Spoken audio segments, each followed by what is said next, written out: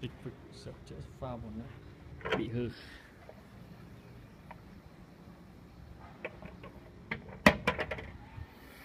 Bồn nước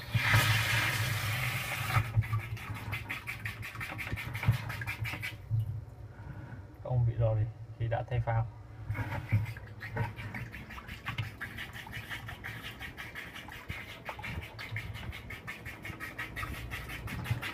Đã hoàn thành.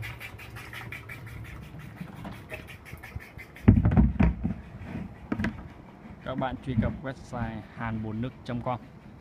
Chào các bạn.